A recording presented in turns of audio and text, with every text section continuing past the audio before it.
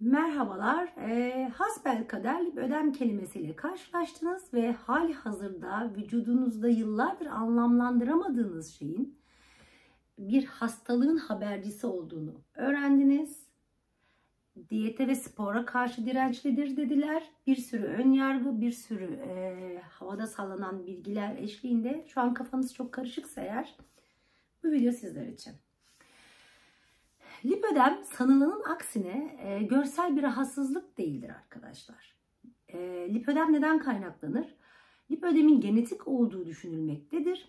Ama hormonal dengesizliklerin bu hastalığın e, ilerlemesine sebep olduğu sanılmaktadır. Niye sanılmaktadır, düşünülmektedir diyorum. Çünkü hali hazırda bu hastalığa sebep olan köken etmen bulunmamıştır. Kesinlikle ve kesinlikle altını çizerek söylüyorum herhangi bir tıbbi tedavi yöntemi yoktur. Şu an etrafımızda doktorlar, fizyoterapistler tarafından uygulanan tüm tedavi yöntemleri hastalığın semptomlarını baskılamaya yöneliktir. Kalıcı e, bir çözüm sağlamaz. E, çünkü hastalığın genetiği yani şu an araştırma aşamasında hangi genin buna sebep olduğu. Bu videoda kafanıza takılan lip ödemle ilgili birçok soruya cevap vermeye çalışacağım. Ve ben bir lip ödem hastası olarak kendime nasıl bir yol haritası çizmeliyim? Bunun arkasında yatan mantığı anlamanıza yardımcı olmaya çalışacağım. Çünkü elinize listeler verip şu yasak, şu serbest, şunu yap, bunu yap değil. Bakın bu bir hastalık ve sizin bu hastalıkla mücadelede iyileşmeye ihtiyacı olan bir vücudunuz var. Bunu anlatacağım. Ee, yavaş yavaş diğer videolarımda fark ettim ki çok hızlı konuşmuşum. Çok hızlı bir şeyler anlatmışım. Belki de birçoğunuzun o videoları seyrettikten sonra kafası karıştı. Evet. Lipödem hastası olduğumu öğrendim. Bunun için bir doktora gitmeliyim teşhis için. Gitmenize gerek yok. Bacaklarınızın resmini gördüğümde zaten ben de çok bariz ve belirginse e, olup olmadığından konusunda size yardımcı olabiliyorum.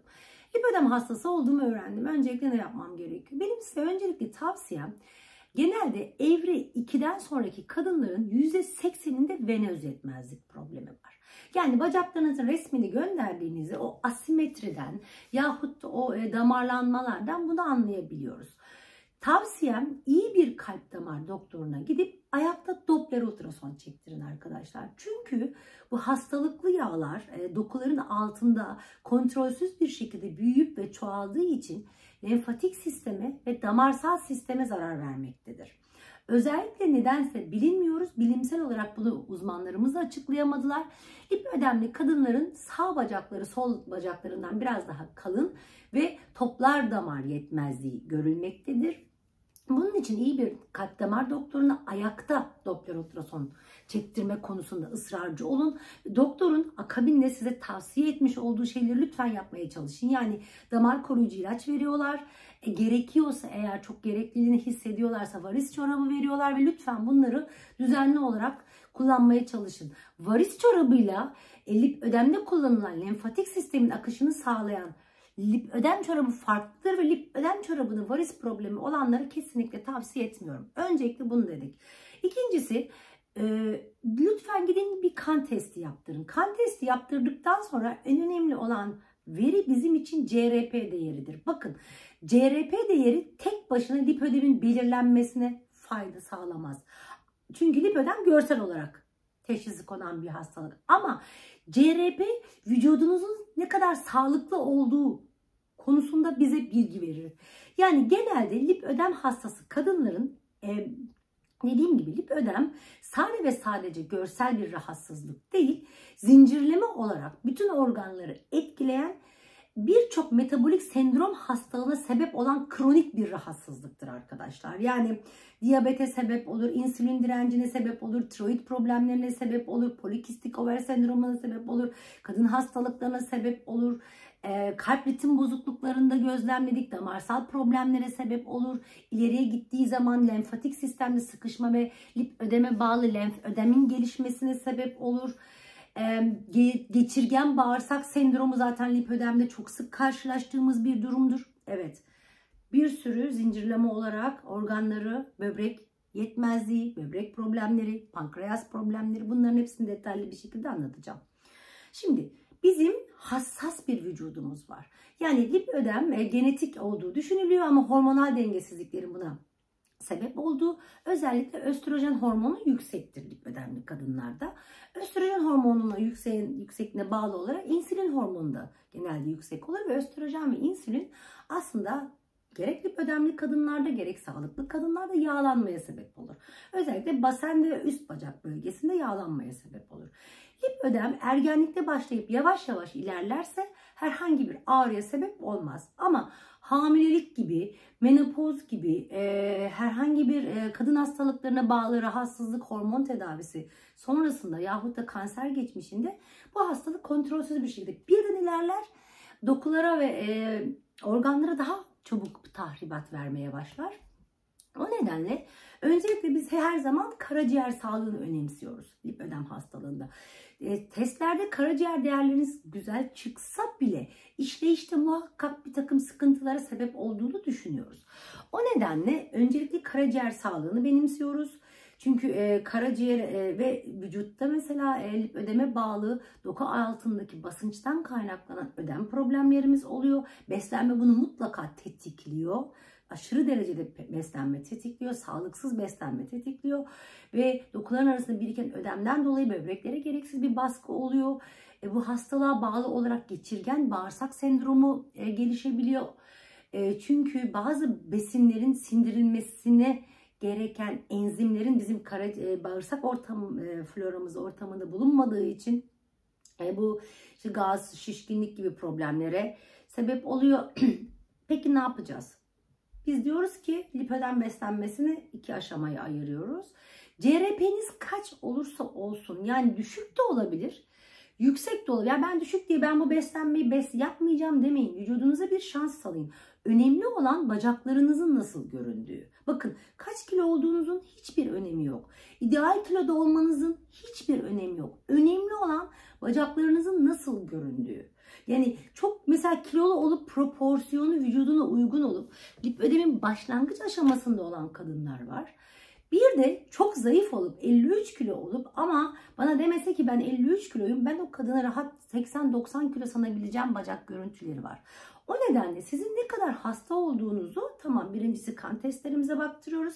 Vitamin mineral değerlerimize baktırıyoruz. Magnezyum, B12, omega, D vitamini gibi değerlerimize baktırıyoruz. Diğer taraftan da vücudumuzu mutlaka dışarıdan beslememiz gerekiyor. Bunu sakin sakin anlatacağım.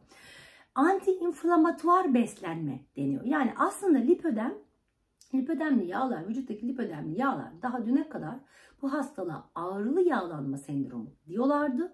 Artık yeni trend iltihabik yağlanma sendromu dediler. Çünkü ağrının herkeste olmadığını fark ettiler ki ben yıllardır bas bas bağırıyordum. Diyordum ki ağrı herkeste olmuyor.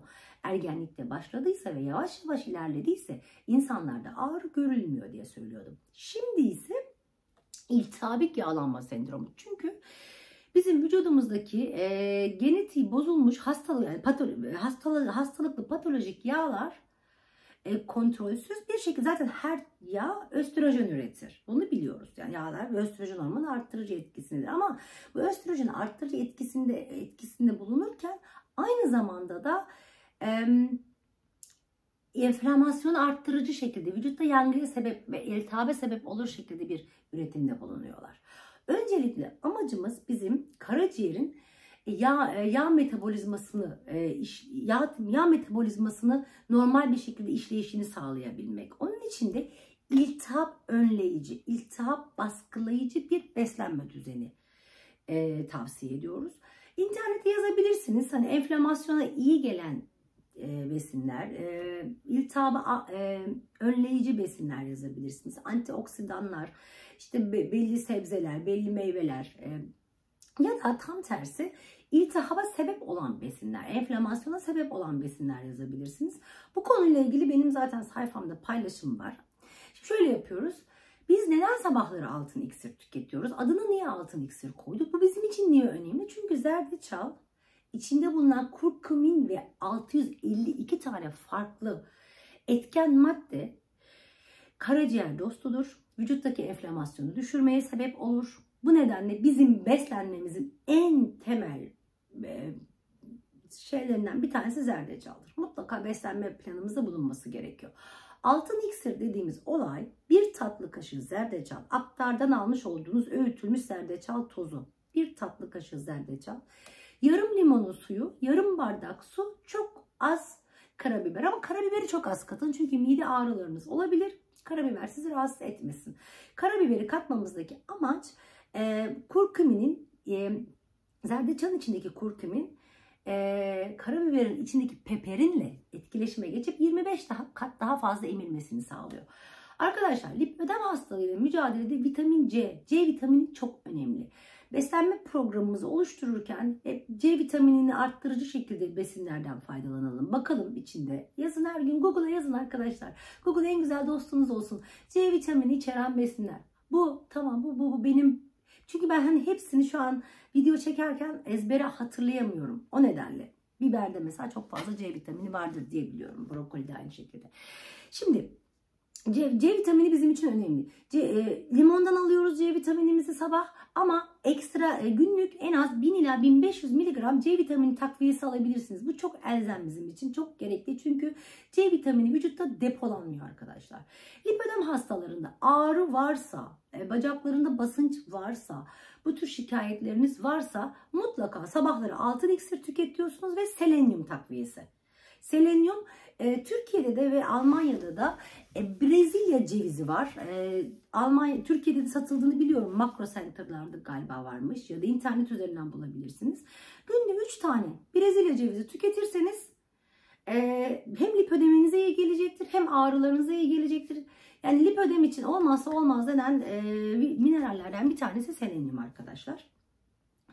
Ben her zaman hani paket paketli ürünler yasak diyoruz ya lipödemde. Şimdi ben size serbestlerden bahsedeceğim. Daha sonra da yasaklara geçebiliriz. Arkadaşlar e, dediğim gibi lipödem hastalığı birçok metabolik sendrom hastalığına sebep olmaktadır dedim. O nedenle e, ülkemizde ve yurt dışındaki fonksiyonel tıp uzmanı doktorların e, metabolik sendrom hastalık yani otoimmün sistem hastalıklarına göstermiş olduğu, sergilemiş olduğu yaklaşımla biz de lipödem beslenmesine yaklaşıyoruz. Diyoruz ki lipödem de evet bir kronik metabolik sendrom hastalığı. O nedenle bu bu bu bu metabolik sendrom hastalıklarında uzak durulması gereken beslenme düzenini biz de buna aynı şekilde adapte edebiliriz. Peki bunun yancıları olabilir mi? Yani sen lipödem hastasısın. Başka hiçbir rahatsızlığın yok. Ama sen lipödem hastasısın, tiroid hastalığın var. Lipödem hastasısın, polikistik overin var. Lipödem hastasısın, bağırsak problemlerin var. Yani bunların hepsinin aslında size bahsetmiş olduğum beslenme düzeni tamamen iyileşmeye yönelik.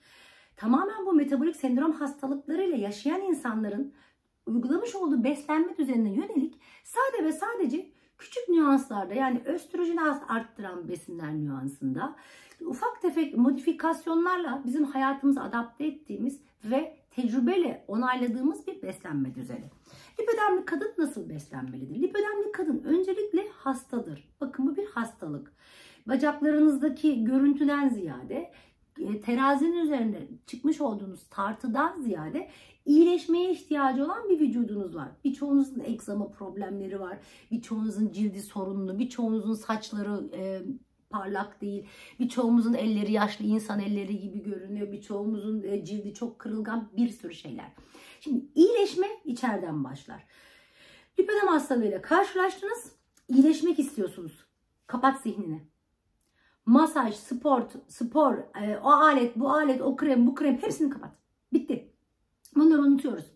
%80 dedik beslenme. Önce beslenme. Lütfen. O da olur mu? Bu da olur mu? Hayır.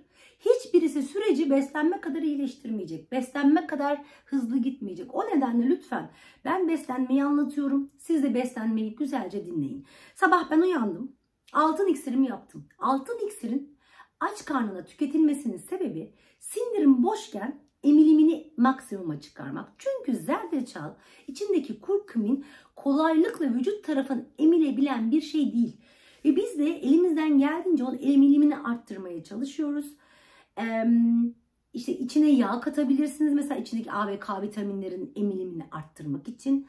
Ee, ondan sonra e, dediğim gibi hani limonla şey sabah kalktık aç karnına bunu içtik. Altın iksirimizi içtik. Aradan yarım saat geçtikten sonra lipödemde e, kan bakın her zaman e, aç e, açlığınızı dinleyin. Bırakın kuralları, kanunları, saatleri, şunları, bunları bırakın ama açmayayım gerçekten. En önemli şey bunu sorun kendinize. Ben gerçekten aç mıyım? Eğer e, bu sorunun cevabı evetse sabah ilk öğününüzü yapın ve ilk öğününüzü yaparken soframda neler olması gerekiyor? Öncelikle arkadaşlar bir beslenme planı oluştururken onu tartayım, bunu biçeyim şeklinde bu olmuyor. Maalesef bu uzun süreli de olmuyor.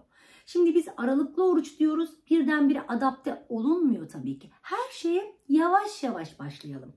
Tamamen hangi yolu izleyeceğinize siz karar verin. Deyin ki e, ben önce aralıklı oruçla başlayacağım.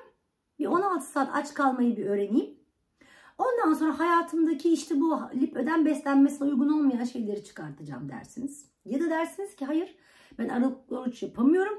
Öncelikle ben yasakları çıkartacağım. Acıktıkça yiyeceğim. Bakın bu iki öğün olur, üç öğün olur, dört öğün, beş öğün olur. Peki nasıl bir beslenme planı uygulayacağım? Öncelikle vücut ağırlığınız kadar protein, vücut ağırlığınız kadar yağ.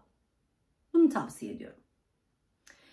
Eğer siz mesela e, evre 2'yseniz ve çok fazla bir kilo probleminiz yoksa, obezite eşlik etmiyorsa bu şekilde. Ama e, evre 2'disiniz, obezite eşlik ediyordur. Obezite ne demek? Yani 1.60 boyundaki bir kadının 100 kilo olması demek. Öyleyseniz eğer ve e, düşük enerjide hissediyorsanız 100 gram yağ olabilir. Bunları ben nasıl ayarlayacağım? Bir de diyoruz ki 20 gram net karbonhidrat. Yani aslında net karbonhidrat e, şu bu diyesiye kadar neyi ne kadar yemeniz gerektiğini aslında anlatırsam bence sizin için daha sağlıklı olacaktır diye düşünüyorum. Öncelikle sabah uyandık. 2 ya da 3 tane yumurta. Bakın arkadaşlar bir yumurtada 8 gram protein vardır. 3 tane yumurta 25 gram protein yapar. Bir tatlı kaşığı e, tereyağı yaklaşık 5 ila 7 gram falandır. Tereyağı sağlıklı. Bu 3 yumurtadan omlet yapın. İsterseniz içine ne katarsanız katın. Yani rende kabak katabilirsiniz. İçine tahin katıp e, tahin ekmeği gibi yapabilirsiniz. Ondan içine işte yeşillik katabilirsiniz. O tamamen sizin hayal gücünüze kalmış. Bir tatlı kaşığı tereyağı, 3 tane yumurtayla bir protein öğünüm hazır. Onun yanına 10 tane zeytin, 3-4 tane ceviz, bol yeşillik, işte dereotu olur, roko olur. Yanına böyle yeşil ama tatlı biber olsun. Acı biber olmasın. Biber, domates koyabilirsiniz, peynir koyabilirsiniz. Peynir seçerken eski peynirleri tercih edin. Tulum peyniri, kaşar peyniri gibi peynirler tüketebilirsiniz. Yanına güzel bir yeşil çay yaparsınız. Bu şekilde zengin bir kahvaltı.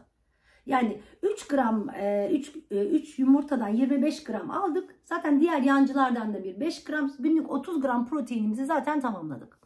Peki ondan sonraki öğünüm nasıl olmalı? Ondan sonra ve her zaman yemeğe proteinle başlıyoruz arkadaşlar.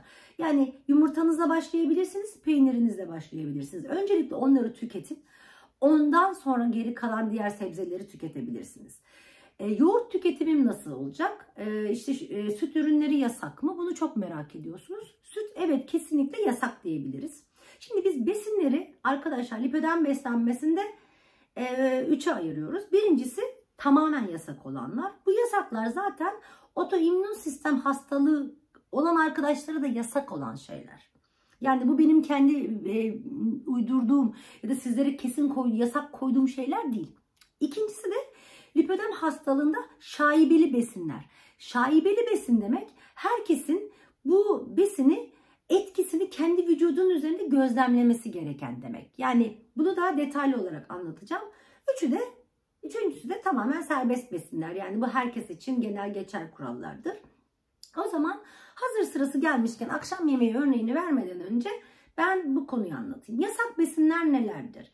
Öncelikle besinleri biz hani bir otoimmün sisteme iyi gelmeyen besinler olarak bir de östrojeni yükseltici etkisinin %100 kanıtlanmış olan besinler var. Bizim hayatımız uzak durmamız gereken. Öncelikle paketlenmiş tüm besinler, kimyasal işlem görmüş tüm besinler yani bir besin e, paketin içine girdiği zaman bu brokoli bile olsa paketlenmiş olduğu için çünkü Almanya'da mesela çok vakumlanıyor. O vakumlanma için de esnaf içinde sülfatlama falan yapılıyor mesela. Ben bunu paketli bir ürün olarak sayabilirim. O nedenle de mesela birçok marketten ben brokoli paket içinde gördüğüm zaman almıyorum. Ondan sonra paketlenmiş ürünler, ekmek. Bakın bütün bütün tahıllar, tahıl. Bütün e, baklagiller. Tahıllar yani işte buğday, arpa hepsi. Baklagiller, nohut, mercimek, e, kuru fasulye bunlar bu grup. Yani baklagiller, tahıllar bunlar yasak. Süt yasak. Ondan sonra ekmek, makarna, pilav yasak. Nişasta içeren besinler yani yasak. Yasak derken iyileşme süresince diyoruz hani otoimmün sistem hastası olduğunuzu kabul ediyoruz. Nişasta içeren besinler çünkü nişastanın sindirimi zordur. Bizim zaten sindirimde sıkıntı, enzimlerde sıkıntı olduğu için hem alerjik reaksiyonunu görürüz hem de e, karbonhidrat yükünü görürüz. Bunlar yasak. Soya ürünleri kesinlikle yasak arkadaşlar. Soya içeren hiçbir şey tüketmiyoruz. Soya yasak. Ee, sonra e, trans yağ içerenler yasak. Yani bize sadece serbest olan yağlar Hindistan cevizi yağı, avokado yağı, soğuk sıkım yağlar bize serbest. Yani e, çiçek yağı, margarin bu, bu, tür, bu tür yağlar kesinlikle bizim uzak durmamız gereken şeyler. Bunlar enflamasyonu arttıran maddeler. Meyve tercih etmiyoruz. Kuru meyve asla tercih etmiyoruz. Bakın bunlar e, iyileşme sürecini yavaşlatan ya da baskılayan şeyler. Meyve şekerinin etkilerini Instagram sayfamda çok güzel bir gönderide anlattım. Karaciğeri çok fazla bir yük verir arkadaşlar. İlk etapta bundan uzak duralım. Meyve olarak glisemik indeksi düşük olan orman meyveleri yani yaban mersini, frambuaz, çilek gibi meyvelerden e, tercih edebilirsiniz. Onun dışındaki meyveler e, gluten e, biz her ne kadar çölyak hastası olmasak da bağırsak, bağırsaklarımızdaki hassasiyetten dolayı gluten içerikli besinlerden uzak duruyoruz arkadaşlar. Ee, şimdilik aklıma gelenler yasak olarak bunlar. E, bir de maydanoz ve hurmadan uzak duruyoruz. Arkadaşlar maydanozun östrojeni yükseltici etkisi vardır. Artı maydanoz bir üretik besin olduğu için yani idrar söktürücü olduğu için maydanozu da çok detaylı bir şekilde anlattım. E, bizim vücudumuzun normal ödem atma mekanizmasını bozduğundan dolayı maydanoz da bizim e, beslenme planımıza yer alan bir besin maddesi değil. Hurma da aynı şekilde hurma östrojen oranını yükseltir. E, susam, keten tohumu gibi fitoöstrojen besinlerin tamamen vücudunuzdaki e, şeyini görmeniz lazım. Eğer mesela e, tüketmiş olduğunuz tahin e, sıcak sıkım oluyorsa o da trans yağlara dönüşeceğinden dolayı ona karşı dikkatli olmanız lazım. Tahin alırken mutlaka içindeki karbonhidrat oranına bakıyor olmanız lazım. E, şa şaibeli besinler bunlar. Diğer bir taraftan e, e, ada çayı, ıhlamur gibi, e, ısırgana tut çayı gibi, kiraz sapı gibi e, bitki çaylarından da mümkün mertebe uzak duruyoruz arkadaşlar. Ondan sonra e, şaibeli olarak besinde şöyle söyleyeceğim. Sebzelere çok dikkat ediyoruz. Sebzelerde çünkü bizim geçirgen bağırsak sendromumuz olduğu için yüksek oranda lif içeren sebzeler eğer iyi bir şekilde pişirilmediği takdirde e, onun içindeki e, lifleri bizim vücudumuzda e, yeteri kadar e, sindirebilecek enzim olmadığı için bağırsaklarımızda bu gaz problemlerine sebep olur, şiş, şişkinlik problemlerine sebep olur, kabızlığa sebep olur ve akabinde ödem yapar. Lahana mesela ödem yaptığını biliyoruz. Lahana, brokoli, karnabahar bunları tüketin. Tüketmeyin demiyorum ama lütfen çok güzel pişirdikten sonra tüketin. Özellikle buharlama tekniğinde tüketin. Yani aşağıda sıcak su kaynasın. Üstüne bir delikliyle mesela brokolilerinizi koyup o şekilde güzelce pişmesi. Yani hani hep bir şey öğrendik. Ya çok pişirmeye de gerek yok. Hemen at daldır çıkar. Ama bakın bu her vücutta farklı tepki gösterir. Yani besinleri görmeniz lazım. İşte bu peynir konusu çok tartışılır. Peyniri de herkes kendi vücudunda gözlemlemesi lazım. Yani işte birisi çıkıp da işte ben peynir yiyorum benim kiloyu tutuyor falan. Bunlara çok fazla itibar etmeyin. Her şeyi dinleyin ama kendi vücudunuzun tepkilerine bakın. Çünkü mesela ben de motivasyonu peynir olan bir insanım. Ben peyniri özleyen birisiyim. Yani gidip de tabii kilolarca peynir yemiyoruz ama arada bir mesela kahvaltıda peynir yediğim zaman mutlu olan bir insanım ve benim ben iki sene peyniri soframdan hiç eksik etmedim. Şu an e, peynir tüketimini biraz kısıtlama getirdim. O da ağırlık antrenmanları yaptığım için, alerjen olduğu için. İnternete girin, alerjen besinler yazın. Tüketmiş olduğunuz besinleri mutlaka bir günlük tutun. Günlüğünüze yazın. Yani bugün ben bunu yedim. Mesela şu şu şu etkiyi gösterdi. Şöyle söyleyeceğim. E, bu vücut çok enteresan bir şey. Ben bu benim kendi tecrübelerim. Biz hormonsal diyetler de yaptık. Mesela vücudu yenileme diyeti 21 günlük. Arkadaşlar vücudu şaşırtma diyetleri 3 haftadan fazla olmaz. 3 haftadan sonra artık vücut ona alışır. Bu sefer aşırı tepkiler verir yeniden tanıttığınız zaman. O nedenle 3 haftalık e, biz histamin diyeti yaptık. 3 haftalık hormonsal beslenme. Bunların zamanları da çok önemliydi tabii ki. Mevsim dönümlerinden hemen sonra vücudun kendini yenilemeye başlamasından sonra yaptık. Şunu söyleyeceğim. Mesela siz şimdi temiz beslenmeye başladınız. İlk etapta lipödem beslenmesine başladığınızda bacaklarınızda ağrı olabilir. Vücudunuz kurdeşen gibi kurdeşen döküyor olabilir. Bacaklarınızdaki ağrının sebebi kesinlikle mineral eksikliğinden dolayı. Çünkü ilk etapta vücuttaki fazla ödemi attığınız için ve bu ödemle birlikte suyla birlikte vücuda yararlı mineraller de vücuttan atıldığından dolayı vücudun mineral dengesi değişiyor. O nedenle bol yeşil yapraklı sebzeler safra, sofranızın olmazsa olmazı olsun. Bu mutlaka. Bir de mutlaka magnezyum sitrat takviyesi tavsiye ediyorum. Ee, peki lipödemli kadın hemen şöyle bir kısa olarak şey ona gireyim. E, hangi vitaminleri kullanmalıyız? Genelde D vitaminimiz düşük oluyor. D3, K2 şeklinde tavsiye ediyorum. B12, omega 3 ve magnezyum sitrat, selenyum. Bunların 5 tanesi ilk etapta lipödem beslenmesi için e, tavsiye ettiğimiz takviyeler. Takviyelerle ilgili zaten ekstra başka bir videom da var olabilir. Kurdeşen döküyor olabilirsiniz. O kurdeşen dökmenizin sebebi tamamen vücudun kendisini işte içindeki toksinleri dışarıya atıyor olması ya da grip olabilirsiniz. Hani bağışıklık düşmüş gibi gösterir ama bir şey ne kadar düşerse o kadar yükselir. Aslında bu bunun belirtisidir. Yani ilk 3 hafta yaşamış olduğunuz kötü tecrübeleri bana da yazabilirsiniz. Ama bunların sürecin bir normal işleyişi olduğunu düşünebilirsiniz. Başladınız sağlıklı besleniyorsunuz, besleniyorsunuz, besleniyorsunuz. Ondan sonra bir gün mesela bir kaçamak yapıyorsunuz. Atıyorum uzun süredir yemediğiniz bir ekmek yediniz ya da ben mesela bunu e, fıstık ezmesi ve e, e yeşil erikle, papaz eriğiyle yaşamıştım. Şimdi vücut o kadar temizleniyor ki hani vücudun e, savunma mekanizması olan e, antikorlar besine karşı gelişen bir şey. Histamin, bize DAO enzim dedikleri olay. Ondan sonra bu mesela vücutta bu yok. Sen tak diye tanıtıyorsun. Vücudu gafil alıyorsun. O gün ölüyorsun artık. O oran kaşınıyor, buram kaşınıyor. Kötü oluyorsun. Ama o demek değil ki senin bu besine karşı bir alerjin var. Senin o besine karşı alerjini eğer ikinci ve üçüncü günde hala daha bu besini tükettiğin takdirde aynı etkileri görüyorsan söyleyebiliriz. Eğer görmüyorsan demek ki vücudun artık savunma mekanizması normal bir şekilde işlemeye başlamış ve o besinin vücudunda sağlamış olduğu alerjin etkiye karşı e, histamin üreten e, yani antihistaminik üre, e, enzimler üretilmeye başlamış demektir.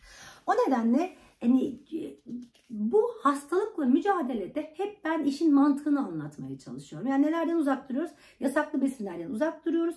Şaibeli besinler ve alerjen besinlerin etkilerini vücudumuzda e, gözlemliyoruz. Çünkü e, bu hastalık e, parmak izi gibi herkeste çok farklı etkisi oluyor. Besinlerin de aynı şekilde. O yüzden ben genel yasak demekten ziyade yasaktan ziyade vücuda zararlı besinler diyelim. Enflamasyonu yükseltici besinler diyelim. Sanırım bu şekilde bahsetsek çok daha doğru olacak. Ondan sonra peki e, tamam sabah kahvaltımızı anlattık. Akşam yemeğini ne yiyebilirim? Dediğim gibi e, her zaman 30 gram atıyorum 60 kilo bir insansız 30 gram e, protein yemeniz gerekiyor diye düşünelim. E, zaten 100 gram e, ette 25-27 gram protein oluyor. Yani günlük 150 gram et 3 tane yumurta yediği takdirde 65 kiloluk bir insan 70 kiloluk bir insan günlük protein ihtiyacını karşılamış oluyor. Ondan sonra peki yağları nereden alabilirim? Avokado yiyebilirsiniz arkadaşlar. Ceviz, fındık, badem yiyebilirsiniz. Bunların mutlaka içindeki karbonhidrat oranlarına bakın. Tahin tüketebilirsiniz. Tereyağı tüketebilirsiniz. Kahvelerinize krema katabilirsiniz. Kahvelerinize Hindistan cevizi yağı katabilirsiniz. Zeytinyağı mutlaka e, kahvaltılarda kahvaltılarda da öyle tabii salatalarda mutlaka zeytinyağından kesinlikle korkmayın. Tuz tüketimini mutlaka çankırı tuzu ya da Himalaya tuzu şeklinde tercih edin. Kaya tuzu olsun. günde 3 ila 5 gram tuz tüketimi önemlidir. Günde bir tane maden suyu içebilirsiniz. Bakın sodyum oranı düşük olsun çünkü gün hatta Churchill hazırlayabilirsiniz. Yani böyle çay kaşığının ucuyla tuz, yarım limon, birazcık da üzerine şey atıp onu içebilirsiniz. Sabahları mesela uyandığınız zaman e, altın iksirinizi içtikten sonra üzerine koca bir bardak e, mesela içine elma sirkesi katılmış bir su içebilirsiniz. Çünkü sabahları uyandığınız ayağa kalktığınızda vücuda ne kadar çok su verirseniz kan dolaşımını hızlandırır, kan basıncını arttırırsınız. Kan basıncı yüksek olan insanların ödem problemleri olmaz genelde. Ondan sonra akşam yemeğinde ne yiyeceğim? İşte akşam yemeğinde 150 gram etimiz var. Onun yanına bol yeşillik bir salatamızı yaptık. E, isterseniz sizin arzunuza kalmış olarak e, sebze çorbaları yapabilirsiniz. İçine kremalar katabilirsiniz. Ama çorbalarda genelde bizim hep böyle e, karbonhidrat oranı yüksek olduğu için güzel sebze yemekleri yaparsınız. Sebze yemeklerinde şunu tavsiye ediyorum size. Soğanı kesin, domates sosunuzu koyun, sebzenizi koyun, suyunuzu katın, ağzını kapatın, kaynatın. Kaynadıktan sonra indirin, indirin tuzunu ve zeytinyağını katın. O şekilde yapın. Gayet çok sağlıklı olacaktır. Yani çünkü e, yağı kavurup ısıtıp da trans yağ haline bence geçirmeye de çok fazla gerek yok. Böyle bir sağlıklı e, beslenme önerisi olarak verebilirim. Ondan sonra e, lipödemle mücadelede e, takviyelerimizi genelde sabah kahvaltısından sonra alıyoruz. Kolajen takviyesi önemli. E, kolajen seçiminde nelere dikkat etmeliyiz? Hidrolize olmuş kolajen peptit tercih etmeliyiz. Çünkü onunla ilgili çok güzel videom var. E, Instagram sayfamda küçük moleküllü olmak zorunda küçük moleküllü olduğu zaman e, daha güzel giriyor e, hücre bazına. Biz bunu sürekli sürekli tüketiyoruz. Günde 10 gram aralıklı oruç yapanlar sabah kahvesine katabilir. Aralıklı oruç katmayanlar, yapmayanlar akşam bitki çayına katıp tüketebilirler bunu. E, suyu ne zaman içmeliyim? Suyu susadıkça içmeliyiz arkadaşlar. E, akşamları çok çay kahve keyfi yapmayın. Akşamları genelde hareket az olduğu için dolaşım yavaşladığından dolayı içmiş olduğunuz suların hepsi birçoğu e, dokuların arasında kalıyor, tahliye olmuyor ve bu da sizde ödem problemine sebep olabilir. Aralıklı oruç konusunu birçoğunuz bildiği için hani tekrar tekrar onu anlatmak istemedim. Sadece tek tavsiye etmek istediğim şey lütfen çok acıkmayın. Aşırı derecede acıkmak yağ depolanmasına neden oluyor arkadaşlar. Yani insülininiz iyice dibe vurmasın.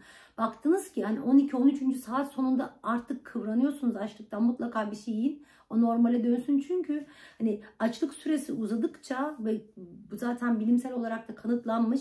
Yani iyice hani böyle şey gibi acıktığınızda e, vücudun metabolizma hızı yavaşlıyor. O yüzden tek öğün asla tavsiye etmiyorum. Vücudun metabolizma hızı yavaşlıyor ve e, bu yağ, vücut yağ depolama e, yağ depolama noktasına gidiyor. Ondan sonra başka ne diyecektim? Bir şey daha söyleyecektim işte bu vücudun yağ, yağ depolaması ile ilgili. Neyse. Evet, evet aklıma geldi. En önemli şey sofradan aç kalkmıyoruz. Arkadaşlar ara atıştırması yapmıyoruz. Ara atıştırması yapması hissettiğiniz an ana öğün yiyin. Yani bir laf vardır. Attığın taş ürküttüğün şeye değsin diye. Baktınız ki e, acıkıyorsunuz yani bir şey yeme ihtiyacı hissediyorsun. Oturun adam gibi öğün yiyin ki o insülini arttırdığımıza değsin. E, şimdilik size verebileceğim tavsiyeler bunlar. E, umarım bu videoda sizler için çok faydalı olmuştur. Kafanıza takılan bir şey olursa e, sorar, e, her zaman sorabilirsiniz. Bakın bu bir iyileşme süreci. E, kilo vermek bunun yanında hediyesi olacak. Sabırlı olmak zorundasınız. İlk etapta bacaklarınızın görüntüsü daha da bir çirkinleşebilir. Bunun sebebi sağlıklı yağların öncelikle eriyip ve ödemden kurtulduğunuz için hastalıklı o tomurcuklu yapının daha bir e, gözle görülebilir olmasından kaynaklanıyor. Bu moralinizi bozabilir ama unutmayın ki bu sürecin çok sağlıklı işlediğini gö gösteriyor. Ve bir süre sonra ondan da kurtulacaksınız. Alt bacaklar en son cevap verir hadiseye. Çünkü orada çok fazla damar olduğu için Orası hadiseye en son cevap verir. O yüzden benim alt bacağım ne zaman incelecek? 3 hafta sonra yok. Ben yaptım, 1 hafta yaptım, 5 hafta yaptım. Bu tür şeylerle gelmeyin. Sabırlı olun. Bu bir iyileşme süreci. Bunun yanında vermiş olduğunuz kilo bunun hediyesi. Ve biz kesinlikle teraziyi ödem kontrolü için kullanıyoruz ama her zaman aynada gördüğümüze bakıyoruz. Bacaklarımız ne kadar iyileşti sizin 3 kilo ya da 5 kilo vermenizden ziyade bacaklarınızın formunun güzelleşmesi benim için çok daha önemli. İyileştiğinizi görebiliriz. Akşam uykuları çok önemlidir arkadaşlar. Mutlaka e, belli bir saatte yatmaya çalışın. Melatonin hormonundan ve büyüme hormonundan e, maksimumda faydalanabilmek için en geç saat 11'de yatakta olun. Bu sizin hem kaçamaklarınızı da azaltır hem de e, daha sağlıklı, daha güzel e, görünmenizi sağlar. Şimdilik söyleyeceklerim bu kadar çünkü video inanılmaz uzun oldu. Ben de sizi bu kadar uzun tutup da sıkmak istemezdim aslında. Umarım unuttuğum bir şey kalmamıştır. Spor konusuna gelince bes bu hastalıkla mücadelenin %80'i beslenme, %20'si spor arkadaşlar. Spor iyileşme sürecinin sonunda hayatımıza girerse çok daha iyi olur. Öpüyorum hepinizi. Sevgiyle kalın.